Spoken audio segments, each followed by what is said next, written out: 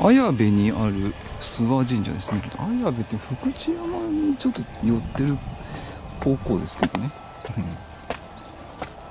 参拝していきたいと思います。ちょうど諏訪神社前って看板があるので、まあ、迷わず来れると思いますけどね、うん、でこちらが京都綾部の西坂にある神社で竹湊の命と、えー、姫様の、まあ、奥さんですね。八坂富の神様を祀って竹湊の命と八坂富の神様ですね。夫婦の夫婦の神様で祀っております。2194年の時に源頼朝の命によって、えー、上州上田の上原さんっていう方が地頭職に命じられてでここに居城を置くられてで分霊を祀ったというのが始まりみたいですね。うん。高倉神社だったと思うんですけどそこの真下なんですね。境内神社が太田神社稲荷神社と厄除けの神社さんですね。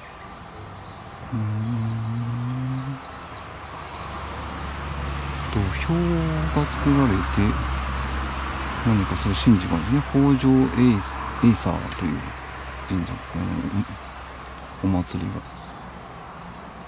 エイサイ？北条エイサイ？うん。エイサーじゃないです。エイサイですね。真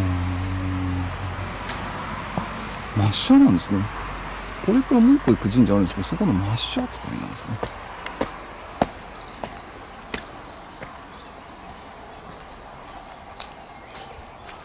上州上田から地頭を命じられて氏神様として祀ったと、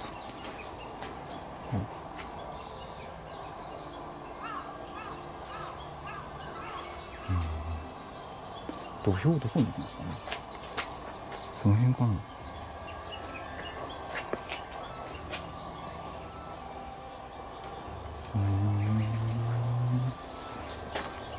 こっち太田神社。ですねいいですね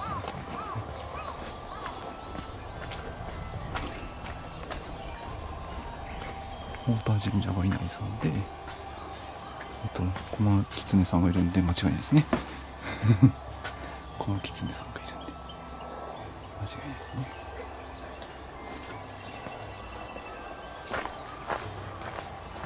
こが薬用系の病気の関係の神社かな、